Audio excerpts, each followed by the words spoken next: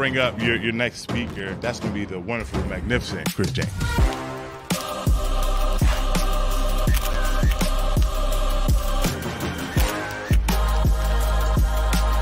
If you talk about how much you hate your fat, your body has been working all this time to keep you alive. I don't think anybody in my circle understands impossible.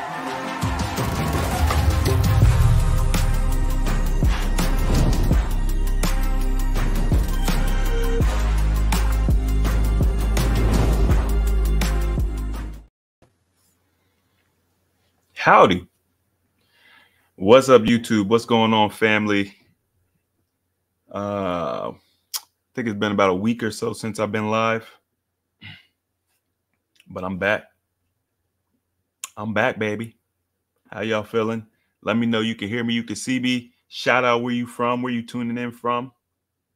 We're gonna get this ball on the road.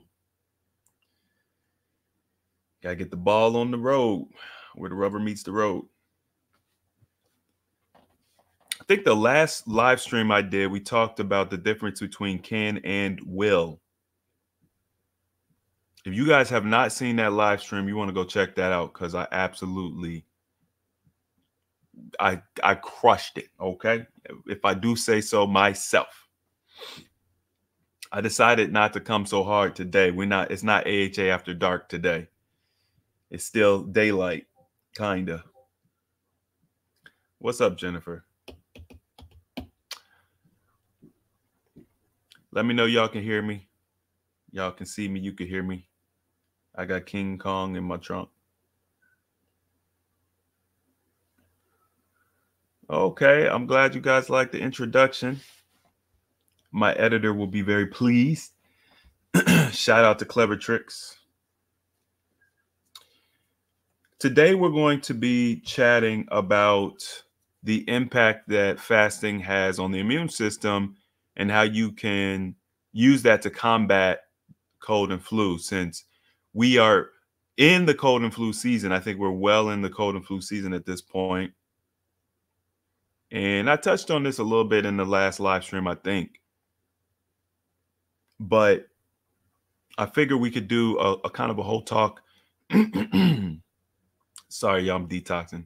I figured we could do a whole talk about this this subject because I want people to understand it. I don't know if y'all can't hear me. Can y'all hear me? Can somebody tell me if you can hear me or not? Can somebody say, put a one in the chat if you can hear me?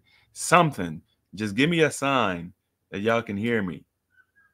Can you guys hear me? I'm trying to use my hands in case you can't. And that way, you know, click in the chat if you can hear me. All right. Thank you. Sheesh. Okay. So cold and flu season. All right. I'm to tell y'all too.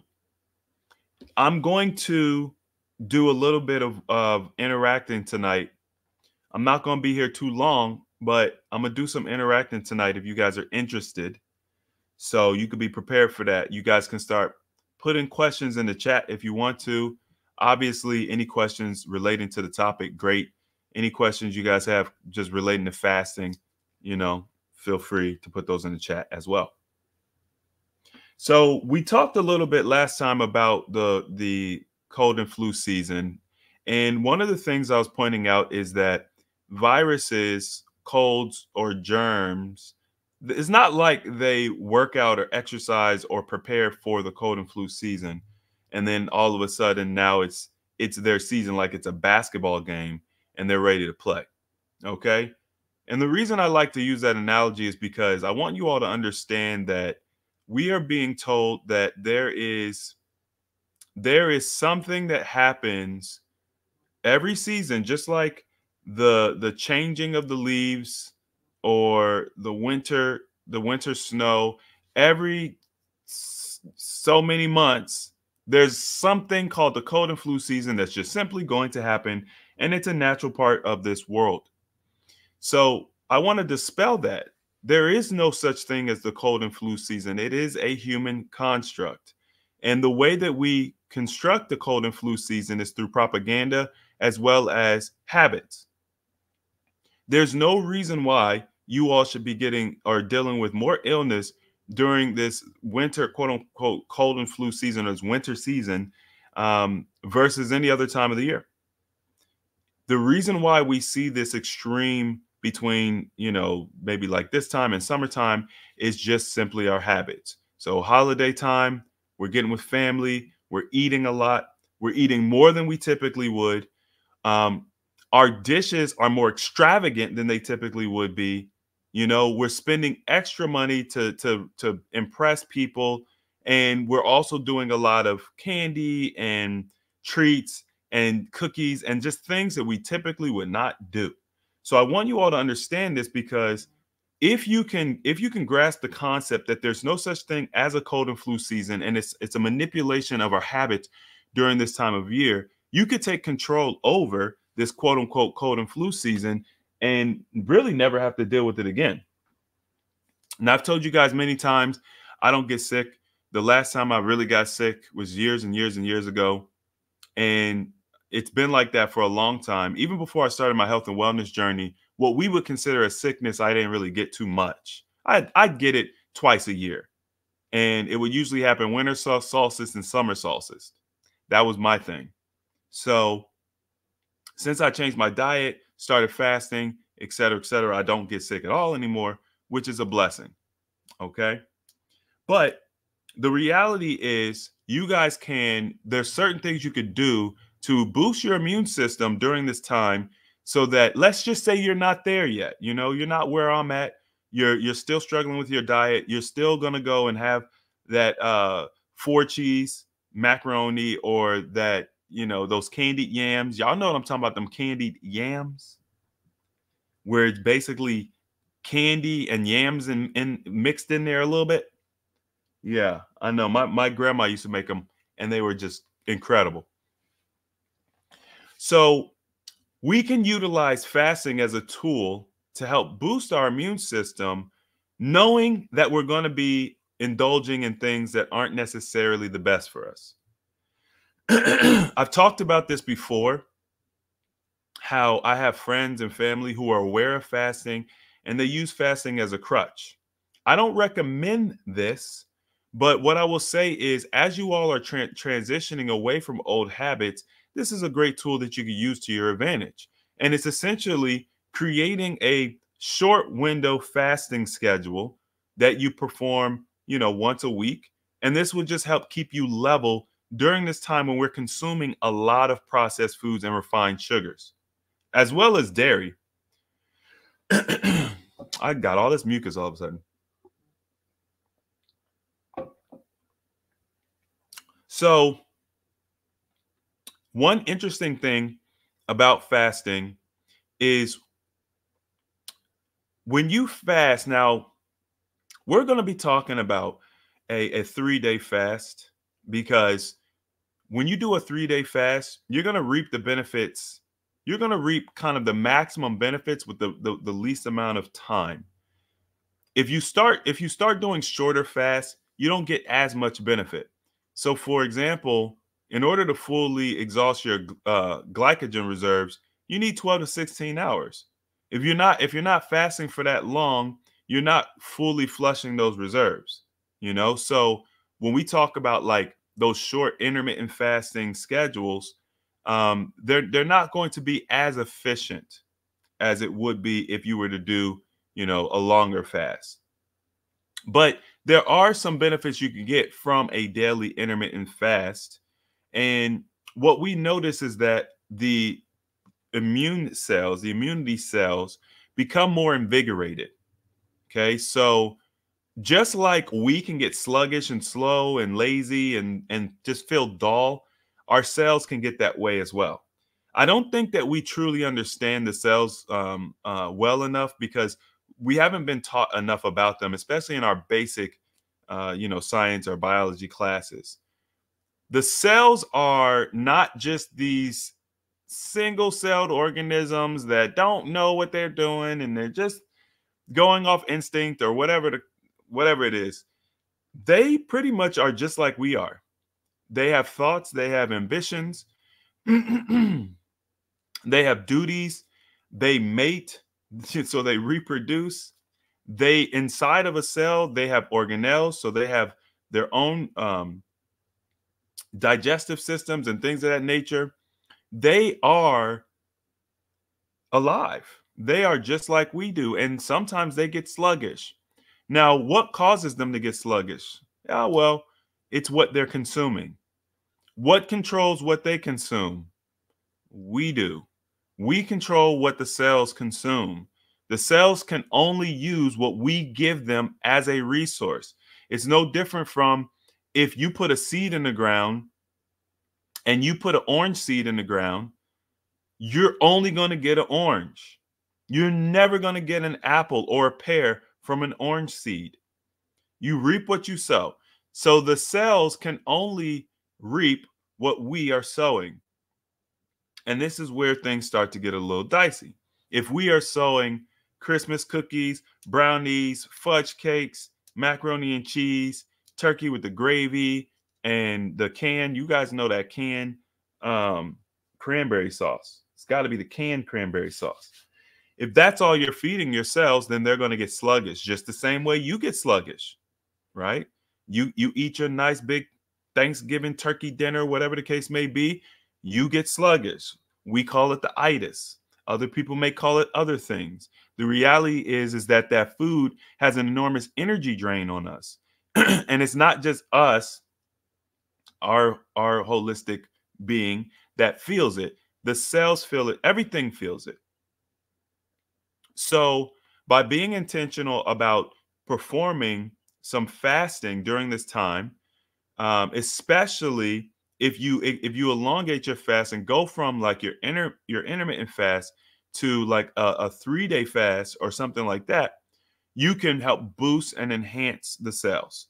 So not only are you going to get more vigor from your cells, like I said, you can get more vigor from the shorter fasts, um, but you can also get the cells to create more immune cells. Okay. So the cells that are going to help to boost and protect, you can create more of them by, by utilizing fasting. So, me personally, I would say that this is something that we really must do during this time of year when we're putting this additional stress on our bodies. Like I, I think that it is more important to to fast and in between in between all of our poor habits it's more important to, to to do all these good things because of the enormous stress we're going to be putting ourselves there's another curious thing that the body does that some of you might be familiar with when you fast especially when you do your longer fast okay you guys might be familiar with these cells that um, can pretty much become any cell. It's a it's a cell that can pretty much become any cell. It can do any job that you need it to do. Okay, they're called stem cells. Now, traditionally, it's believed that you really can only get stem cells from something else. You know, they'll they'll extract them from a baby fetus. They'll extract them from other animals or they'll try to synthesize these stem cells in different ways using a laboratory. Did you all know that fasting boosts the production of stem cells?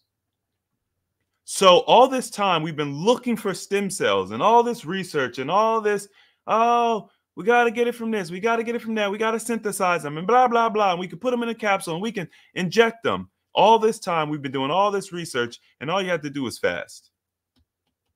If this doesn't show you that your body is perfectly designed and and it's it's it is an enclosed system that works. It just simply works. If this doesn't show you that, I don't know what else will. So stem cells can pretty much heal, repair, and become anything you need it to become. It's a blank slate. And they're extremely powerful. When you fast, you be your body naturally produces more stem cells. You're going to get them in what we would consider excess. So, a lot of the work that needs to be done, the stem cells can begin becoming the repair mechanism or the, the repair material for that work. If you couple that with a dietary strategy that supports good nutrition, Now you have a you have a a, um, a one-two punch. I will say it's a one. It's a perfect one-two punch. Then you continue this cycle, right? So when you when you start your your your holiday holiday festivities, one thing I want you all to keep in mind is that you don't have to be gluttonous. I understand that Thanksgiving promotes gluttony, right? And and it's it promotes it in a way that we don't even realize that it is gluttony, but it is gluttony. Most of us are going to eat more than what we can. We celebrate it. It's almost a badge of honor during this time. And I want to bring this to your awareness because it doesn't have to be that way. You guys can still enjoy your family. You can still enjoy, you know, all the festivities, the foods and things. But if you reduce the quantity or the amount of food you consume or even the frequency, you can get through this cold and flu season without having to deal with the detrimental effects of the food and everything else we're doing. It's very common when I was younger, we would um my friends would have several different houses they go to for Thanksgiving. I never really did that personally, but I knew a lot of people did it. And even as I got older, it became a thing where, you know, people they'll start off at one house, you know, usually it's it's whoever those people are that start early. There's certain families they start eating early, you know what I'm saying? They'll be eating by noon. That was not our family. We didn't start eating until after 5 p.m. And uh, people thought we were crazy for eating so late. And I thought people for, were crazy for eating so early. But it worked out great because then you could go to someone's house early. Then you had the midday meal and then you had the late evening meal. And then, of course, you collect a take home plate for each one of them. You know, it is okay to celebrate the holiday and enjoy your family, but we have to practice um, self-discipline and control during this time. And if we can make the correlation between the the our level of health, how we're going to feel and how we're going to function and perform, especially leading into the new year, if we can make that connection to the foods we eat leading up to that point, I think we'll make better decisions. Now I know a lot of you all are out there. It's time for, you know, start thinking about your New Year's resolution. Like what are you going to do in a new year? What do you want to accomplish? And I tell you guys all the time, it's important to start your New Year's resolution today. But part of starting your New Year's resolution today is also giving your body the resources it needs to function at a high level as we transition into the new year. And the only way to do that is by practicing something, you know, as far as like that dietary strategy, like I said, using fasting as a as a tool, or at least at the very least practicing discipline and not putting yourself in a deficit going into the new year because that's exactly what we do. You'd be surprised at how many people in the in the year in a deficit and and their new year's resolution um really just ends up being trying to climb their way out of that hole that they created. And and the the the health deficit we create is mostly between October and January. That's when we really create our largest health deficit for the year. So, if we could put intention on not creating that health deficit through poor actions at the end of the year, then focus our mental and our mentality on what we want to achieve as we go into the next year, and then support all of that with fasting and dietary strategy, then we could see some amazing results the first quarter of the year. And I think that that will give you guys the motivation to be successful leading into the second quarter. That's summer body season. You know what I mean? So I think it's important just to understand how all of this works. Now, typically, I like to promote that you guys are doing a three day preparation before you, or I'm sorry, a seven day preparation before you start doing any fasting. I'm going to briefly break down the preparation in case you guys have never heard it before. But the, the, the way we're going to start preparation for a fast, whether it's a three day fast, intermittent fasting schedule that you're going to do on a regular basis, or even a 21 day fast, you want to start by increasing your hydration levels. It's important that you have proper hydration because most of us are dehydrated. I, when, when we look and we observe people in the modern world, we see that um, 80% or more of people are dehydrated. Okay. And in that 80%, the majority of people are severely dehydrated. So it's not like, oh, you know, just need a cup of water. Most people are severely dehydrated. The severity of the dehydration is going to impact the level of disease you experience in your body. I've told stories many times of friends who had issues, various issues, and my suggestion was just simply to increase your hydration levels, decrease the dehydrating foods you consume, and their issues began to go away. So, just by focusing on hydration levels, especially as we prepare for a fast, you will see a boost in um, your vitality and your health. This is important, especially at the beginning of your preparation, because you want to be at a high frequency. It's important, right? We, we talk about the physical thing a lot, but it's also important that vibrationally you are at a high frequency because this is going to affect your mentality and how you go into it. In the last live stream, we talked about can versus will. Your willingness to do something. This is going to improve and have a have a direct impact on your willingness to do something. So you've created this plan of action, but you have to have a high willingness to do it in order for you to be successful. And even though these things don't seem to be correlated, your hydration levels have a direct impact on that. Part of the reason why we have issues in in our world, in our relationships with politics and foreign policy and all these things is because we have a society, we have several societies of people that have what I call toxic thinking. The toxic thinking comes from literally having mucus on the brain.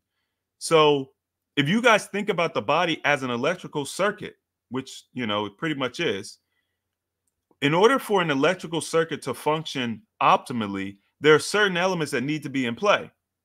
One of those elements is you have to have a conductor that that will allow the the the movement of the energy without a lot of resistance. Okay? Your the conductor that you use, the metal wire that you use, it, it plays a very important role. There's conductors, there's semiconductors. There are things that don't conduct electricity well. They conduct electricity, but they don't they don't conduct it very well. When you have mucus on the brain, mucus does not conduct electricity well. So literally signals that are being sent from the brain to other parts of the body, whether it's glands, organs, um, you know, digestive system, whatever, wherever, or if it's your just your ability to process information, your higher cognitive function, all of it will be lowered because you have mucus on the brain. And this mucus can come from your dietary habits, but it also can come from the things that we put on our body. So this could be hair dye, this could be relaxers, this could be nail polish, this could be lipstick, this could be lotion, this could be colognes, deodorants, etc., etc., etc. Okay? All of these things can potentially have an effect on the amount of mucus that's produced and introduced to the brain. This means that you're going to have a lower possibility to to perform well at work, perform well in your uh, relationships. I mean, shoot, even performing, um, you know, when you're in your intimate settings, like it, it affects you holistically. So it's important to get that mucus off the brain. And, and one of the best ways to do that is through hydration. Hydration is going to help drain the sewage right? We've got the lymphatic system, which is your your uh, your your sewage system, if you will. And if you're not, if if that system is not moving well, and if it doesn't have fluidity, then you're going to have backed up sewage, and you're going to have mucus, and you're going to have all kinds of issues.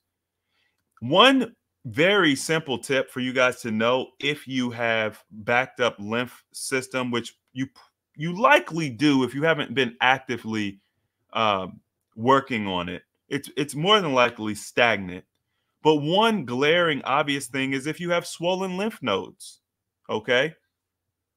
You guys can do a very simple Google search and figure out where the lymph nodes are and you you'll be able to see whether or not you've had these swollen lymph nodes.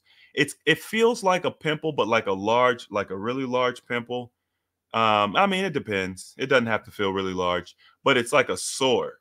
But it has like a it's like a pimple kind of vibe or a lump, you know, and it's sore. And um, you might notice that it gets swollen. Uh, you might notice it gets swollen and it goes away. and you might notice that it gets swollen or agitated after you eat certain things or some of y'all might just just have them there and you're just dealing with them and you don't know what they are maybe you're scared and you don't you don't even you know there's this we have this fear of the unknown. They've made us so fierce fearful of tumors and cancer and things of that nature that some of us will just stick our head in the sand and we'll just say forget it. And all this time it could have been something you know not even that big of a deal that you could have easily you know resolved i will tell you guys that one cool way to reduce um the that stagnant lymph buildup like if you if you have those swollen lymph nodes is castor oil. Castor oil we've been talking about castor oil recently and um, you know we we uh, as a brand we started selling the castor packs. But the reason we started to do that is because we wanted you guys to be familiar with the benefit of castor oil castor oil is in, incredibly beneficial you can if you've got um, if you've got areas in your body where you've got these swollen lymph nodes, you can put you can put castor oil on it. You just, you know what I mean? As a treatment, maybe two two times a day.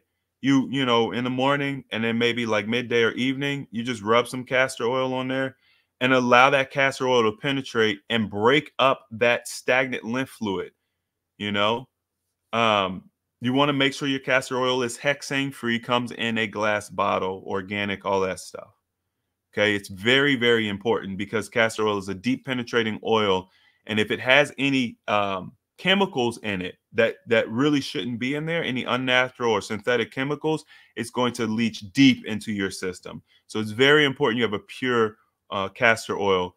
And we've done a very good job of sourcing our castor oil. It's honestly, I'm not even going to hold y'all. It's the most incredible castor oil I have personally ever used. Okay, that's just my personal opinion. I'm sure some of you all live on different islands or you guys even manufacture castor oil as one of your main products. I'm sure you guys have uh, experienced really, really nice castor oil, but I've also experienced very subpar castor oil. Okay, so this castor oil is different. If you guys get some and you feel it and touch it, you'll know, you'll know what I'm talking about. But um, that's a very simple technique for just breaking up the, that that sluggish lymph fluid, and um, this is going to boost your immunity. It's going to boost your health. It's going to help you think more clearly. It's going to help to remove that mucus from the brain. And now all of a sudden, you're seeing um, uh, just like a boost across your life. You're, you're seeing a boost across your life. Wouldn't it be amazing to just not have to worry about getting sick? Like, could you guys imagine a world, your world, where you don't even think about getting sick? You would be surprised because I I have had the opportunity to live on both sides of the spectrum, and you would be surprised how freeing it is. You wouldn't think about it because you just think sickness is a part of life. You would be surprised at how freeing it is to just never be worried about sickness. There are people. I went to the park one time. Um, I went to the park um just go for a walk. Okay, and the person that was uh, um with me was so concerned about sunscreen, so concerned about the sun and the damaging of the sun and getting skin cancer and all this stuff and worried about me whether or not I was wearing it. And I'm just like, bro, I'm not worried about that at all. Side note, do you guys understand that a lot of the sickness and ailment that is that is caused by the sun comes from what you put on the sun, on the skin? So you think with we think that it's just the sun. The sun is just damaging. The sun is just harmful. Well, no, the sun is not damaging or harmful. But what happens is we will put Jergens on our skin. We will put Vaseline on our skin. We will put sunblock on our skin or all these other chemicals on our skin and our hair. And then the sun will start breaking that material down. It will unlock those chemical bonds, and that those those raw chemicals will start leaching into our skin and our bloodstream. And that's how we get sick. Think about it like this: it's no different from if you have a plastic bottle. Okay, you have a plastic container. You put water in the plastic container. You put that water out in the sun. The sun then starts breaking down the chemical constituents of that plastic and it leaches into the plastic, into the water. That's the reason why they tell you don't drink water that's been sitting out in the sun. If it's been in a plastic bottle, it's because the sun breaks down those chemical bonds that those constituents leach into the water and you consume those raw chemicals. There's it's no different on your skin. It's it's worse probably because it's going right into your bloodstream. So this is why I teach you guys, you know, you got to be careful about what you eat, yes, but you have to be you have to be cognizant of your consumption overall. It's not just simply about what you put in your mouth. It's also about what you put on your skin, what you put in your hair, what you put on your lips, what you put on your eyes, what you put on your nails. Everything all of these surfaces are porous. They're permeable. Okay? They're, they when you put something on your flesh, on your nails, on your hair, it will absorb. The level at which it absorbs can be debated.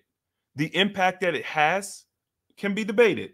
But it need you need to be under you need to understand that if it goes on your body, if you touch it, it will absorb. I saw a um a demonstration, okay? And you guys could probably find this on on YouTube. It'd probably be easy to find. But I saw a demonstration this guy has a chlorine tester and he has two glasses of water. Okay. So he has two glasses of water. They're both just normal tap water. You pour the water from the tap. Boom. Put the glasses on there. He has his chlorine tester. As he's testing one glass of water, his hand is sitting in the other glass of water. Okay. So he's testing one glass. His hand is just sitting in the other glass of water. And you can see the there's a it's a color change test. So as he's testing the one glass of water, you can see the chlorine because it turns yellow. Based on this this test that he does, it's got it turns the water yellow. Okay? And you can see all of the chlorine in the water. And in the 10 to 15 seconds that he's doing the test on this glass of water, He's got his hand in this glass of water. He takes his hand off and he starts testing the glass of water that his hand was in. You guys know what the results were? No chlorine in the water. In the 10 or 15 seconds it took him to test this glass of water here, his hand had absorbed all the chlorine out of the water. That's how well our body absorbs chemicals we have to be very aware of this to the point where, and I'm a, you know, I don't want to go too deep, but like the dye from the clothes we wear absorb into our skin. Your fabric softeners. What what are the chemicals in your fabric softeners? So the chemicals in your fabric softeners are now in your clothes. You put your clothes directly on your skin, and those chemicals are constantly leaching into your skin. I'm gonna take it a step further. I don't even use normal toilet paper anymore. I have changed my toilet paper from the traditional toilet paper that you guys would see at the grocery store, you know, the white bleach toilet paper. I've gone from that to a completely all natural toilet paper because the chemicals in your toilet paper would blow your mind. Now, the thing is, when we have been desensitized so much that even though these chemicals are burning us and going into our system constantly, we're unaware of it. We're unaware of it. But if you will notice, you know, for those of you who, I don't know, maybe you have babies or you've interacted with babies, babies are, are much more sensitive. You know, there's a lot of things that we do as adults that if you do it to a baby, it'll give them an irritation or a rash. That's why it's so common for them to be irritated. And we just think, oh, their skin's just sensitive. No, their skin is normal. Our skin is desensitized. Our skin, we have been desensitized to all of the the chemicals and everything that we come in contact with so that when the body the body can't send those normal signals. Those signals that are going to keep you you know this it's the goes back to this whole story of um you know when you touch a hot stove you got to touch it to know it's hot right? It goes back to that whole thing. The whole reason why when you touch the hot stove, you ooh flinch your hand off real quick is because of your nervous system. Your nervous system is going to tell you, uh, oh, by the way, this is hot. Oh, thanks, thanks. I appreciate that. I'm not going to touch that anymore. Right? It's the nerves. It's the nerves. Uh, the nerve endings are going to give you a um, feedback. They're going to give you feedback to let you know hot. Okay, boom. I don't need to touch that. What happens if those nerves don't exist or they've been dulled to the point where you can't feel that that stove is hot? You will melt your hand. You'll literally melt your hand. So, if we understand that simple concept that in this case pain is good, right? Pain is good. It's it's alerting of alerting us of something. It's giving us information or data and it also it also conveys the intensity so the intensity of the pain is going to give you an idea of how quickly you need to move and how extreme your reaction needs to be. But but this these nerves are everywhere. And your body responds to this type of stuff all the time. It's just as we get older, the signal becomes more dulled because the system has been uh, degraded. It's not, it doesn't work like it's supposed to. But this is why we see like little infant babies react so violently to the things we do every day with no problem. It's because they're they are they have a they have a normal functioning uh system that gives them feedback. And then you get these rashes and you get this uncomfortability and then you know okay, I need to do something different with the baby. But I noticed that when I started doing my fast, especially my long-term fasting, I would become, I would, the sensitivity would come back, you know? So what I realized during that time is that toilet paper would irritate me. it would irritate me. Toilet paper, the shower water, uh, different, different chemicals that I would ingest, like mouthwash or toothpaste or even deodorant. As I started to fast clean my system, I started getting this feedback from my system so it taught me a lot of things. You guys have the same ability. It's just that depending on where you are in your wellness journey, you may or may not notice it. There are people that have a sensitivity to like Wi Fi and Bluetooth and just electromagnetism or, or um, alternating current. There are there's a there's a subset of people that have a quote unquote high sensitivity to these things and uh, you know it's hard i don't know it do they have a high sensitivity or do they have a normal sensitivity because if i'm being honest none of our electrical devices wi-fi none of that stuff is good for us so so if someone can sense it and they have a violent reaction are they sensitive like are they highly sensitive or are they just normal sensitive have we just been dulled to it one interesting thing that you guys can think about, and um, you guys could do your own research. Okay, this is just I'm just throwing this information out there. You guys could do your own research. Ask yourself: Is there a correlation between when we change or upgrade our telecommunication systems and pandemics? when we change, when we upgrade from 3G to 4G, was there a, a, a at least a nation, a nationally, uh, I think it was a worldwide thing, honestly, but was there a disease or a virus or something that started going around around that time? You should ask yourself that question. Look at look at when we upgraded from 3G to 4G and look to see if there was any national or international element going around at that time, or from 1G to 2G, or from 4G to 5G. Did you notice any diseases or any ailments that everybody everybody seemed to be getting sick?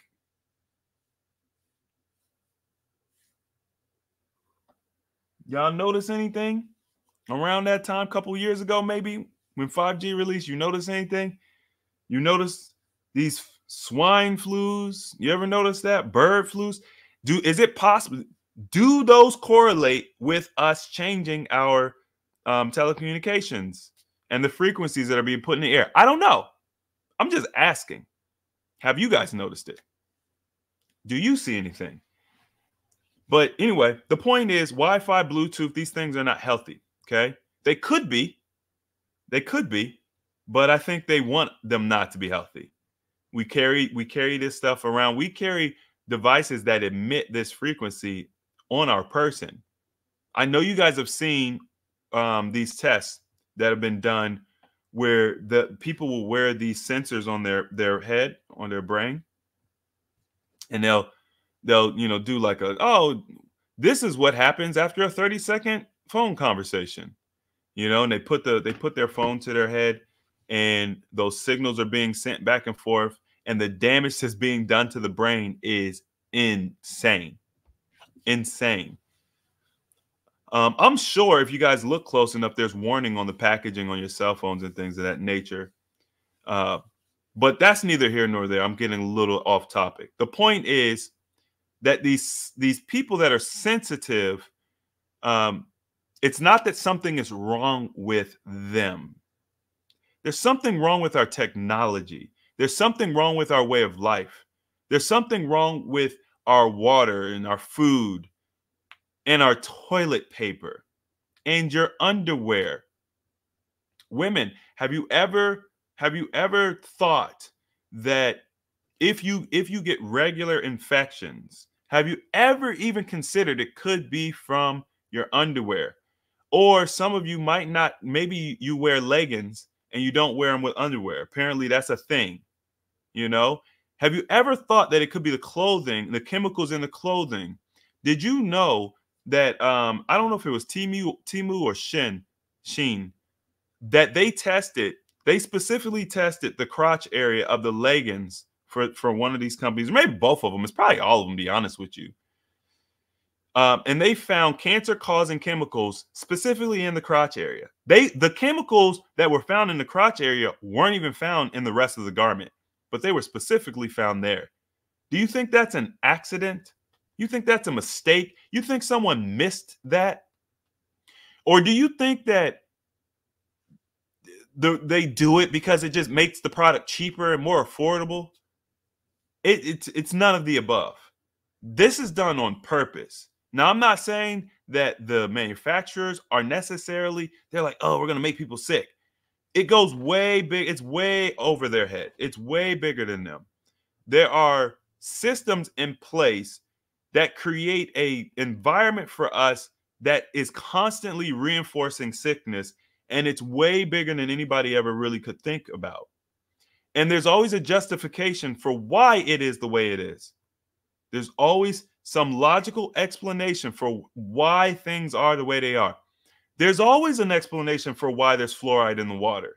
If you guys start researching the harmful effects of fluoride, and if you research where fluoride originally came from, there's a naturally occurring fluoride, and then there is a byproduct that is a fluoride that comes from the aluminum companies, if I'm not mistaken.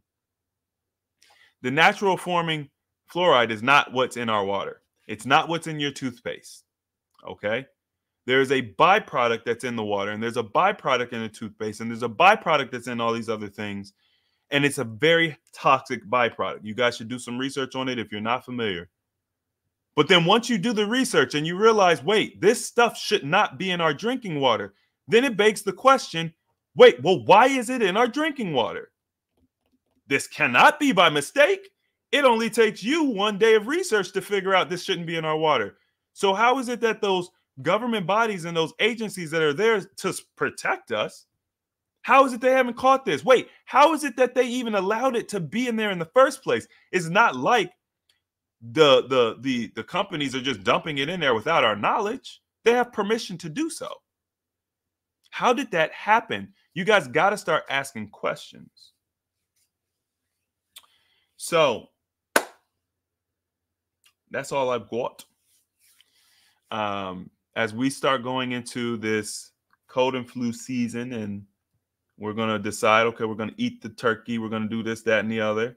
If you guys want to do it, that's fine. Okay. but keep it to a minimum. And also, I would highly recommend um, some fasting. Okay, you guys can practice regular intermittent fasting. You can practice, you can step it up a notch and go to one meal a day. If you guys are going to have your Thanksgiving meal, just fast. Do a one meal a day on that day. And then um keep your portion moderate. Don't don't you know overindulge. And then save one save a plate for tomorrow and you can have one meal tomorrow. And that way you can diffuse the concentration of toxicity in your system during that time. You know, trust me, I used to be that guy. I'd be like, look, I I really just want to pig out. This is one time of the year I get to pig out. But let's be honest, we're pigging out all the time. Even if you don't realize it, you are. If you're not intentional about what you eat, you you probably are to a degree pigging out. Because we're eating, you know, you eat a Snickers bar, you don't think, well, that's not pigging out, Chris. Do you have any idea how calorically dense a Snickers bar is? Like, we we there's a lot of things that we don't consider pigging out, but it really is. So we pig out all year long. We really do. Uh, processed foods and stuff are very calorically dense. So it's not just, oh, let's just pig out one time a year. No, you've been pigging out all year long. It's just, it's, it's to the umpteenth degree during Thanksgiving and Christmas. All right, I'm gonna grab a couple y'all's questions out of the chat before we rock out.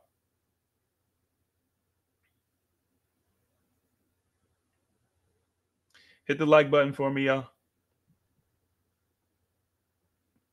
If you're watching and you have not subscribed, subscribe. Why haven't y'all subscribed yet? Uh oh, I'm gonna just put this up real quick. Castor oil is great for the brain to help prevent dementia and Alzheimer's. I oil my scalp once a week. So obviously when we when we talk about castor oil we usually think about like growing the hair like it's good for growing the hair. But just think about it. Like why is it good for growing the hair? If we think about why it's good for growing the hair we might come to the conclusion that it's good in general. And uh, apparently it's good for preventing dementia. That's big there's a lot of people that as we're getting into our golden years we are starting to see a lot of dementia and um, there are medications that some of you all might have been on in your 40s and 50s that you don't know are linked to dementia because look, a lot of this stuff is new, right? A lot of these diseases and things that we're dealing with, this is new. This generation, we, we, we're just now really starting to see it at the scale that we see it. So we're we're just now seeing the impact of what we were doing 40 years ago. And it's not too late. It's not too late. We could get ahead of this and we could start making improvements in our health and wellness. We just got to understand. We got to know the importance of making these changes. We have to be consistent and um, you can you can eliminate that fear of of literally losing your mind as you get older, losing your memories, not knowing who your your your siblings are, your children are, or your spouse is. That's that's extremely sad. I I honestly I think that's a fate worse than death. That's just my personal opinion. To be a walking shell of yourself. I've seen that in my family many times and it's it's it's very sad. You do not want that for yourself. Okay? What can cut through all this mucus? So, first of all, you want to cut out dairy products uh, refined sugars. Dairy products are probably one of the biggest mucus forming foods. It's, I mean, it's probably one of the, if not the number one mucus forming food. So people always ask why.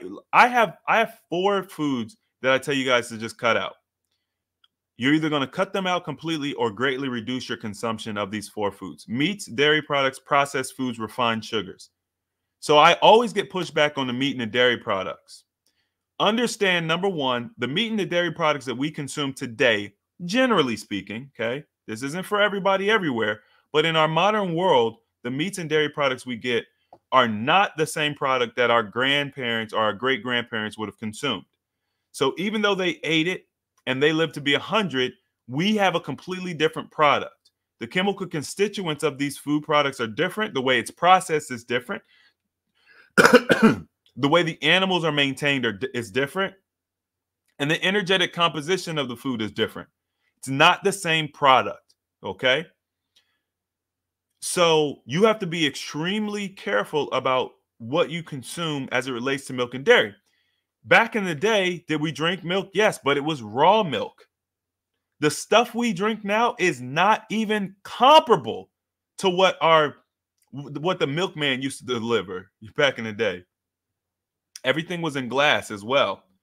So you have to look at the packaging. You have to look at the manufacturing process. Okay. So there's a reason why I tell you guys to reduce or eliminate these foods.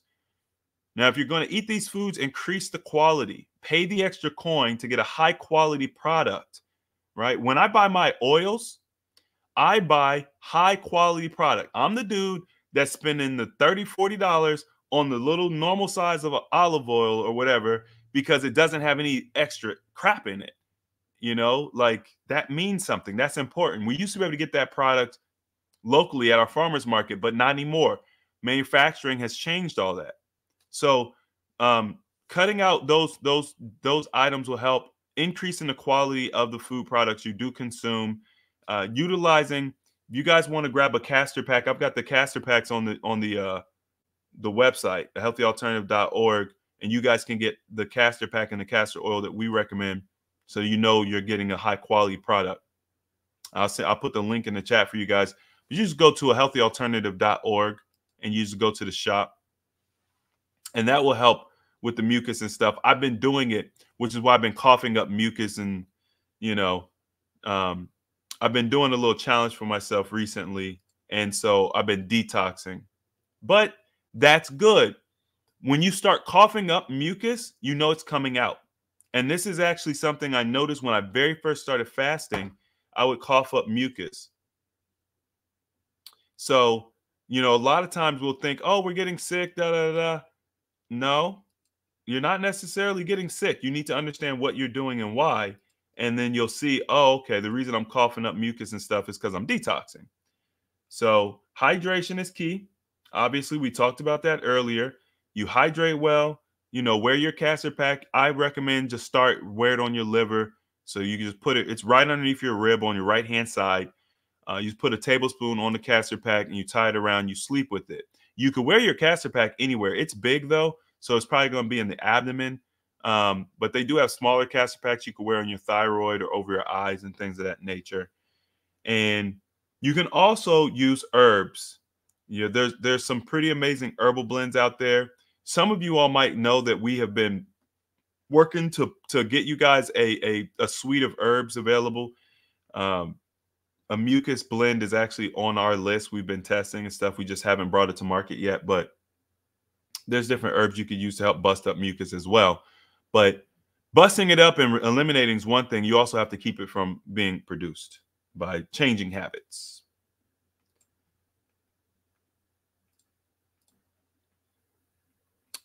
I want to do a watermelon fast. Is it okay to eat seedless watermelon? Yeah, so look, obviously in America, we're not in watermelon season. Uh, people have pointed that out to me repeatedly. um, is it okay? Yes, it is okay. Right? Because doing a watermelon fast is probably going to be better than any what you're doing currently. So it's going to be beneficial.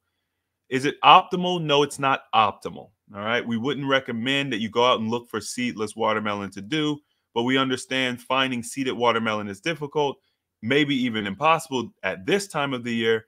But you also can use a different fruit if you want. You know, I used to tell people losing weight, fasting, all this stuff is pretty easy. Like I can make you, I can make you a diet where you you can lose weight eating Oreos. It's all about it's all about understanding the frequency, the tools that you could use and stuff. So there's lots of different options you could do you know it's it's uh it's winter time now you get you a gourd get you some butternut squash. You could do a squash fast where you only eat squash. Okay. Now, obviously, butternut squash and stuff like that's going to be hard, so you'd have to cook it.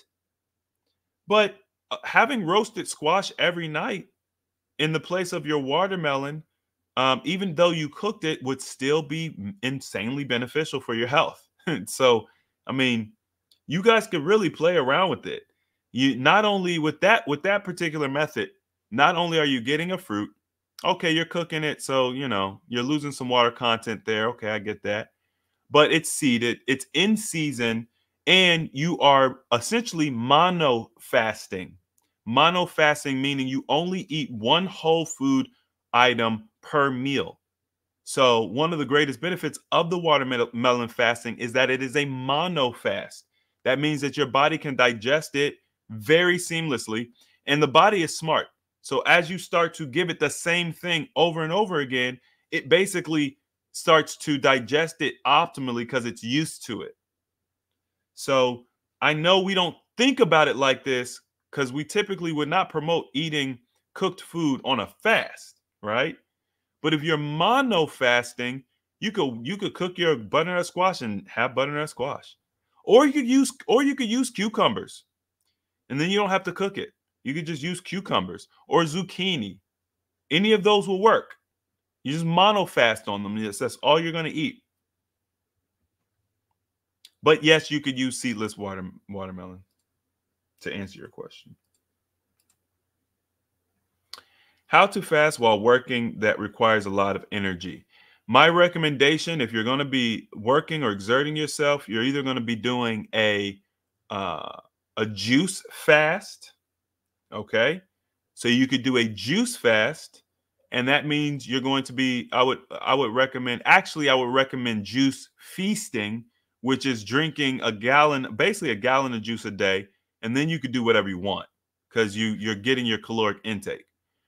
So that would be like very, that's a very easy way. Just drink juice, drink a ton of juice all day, and just live life like it's normal. You, if you're going to do water, if you want to do water fasting, I'm going to recommend a one meal a day strategy. So you're you're still going to eat every day, but you're only going to eat once a day. And when you eat, if you want to get the most out of it, you eat a raw meal.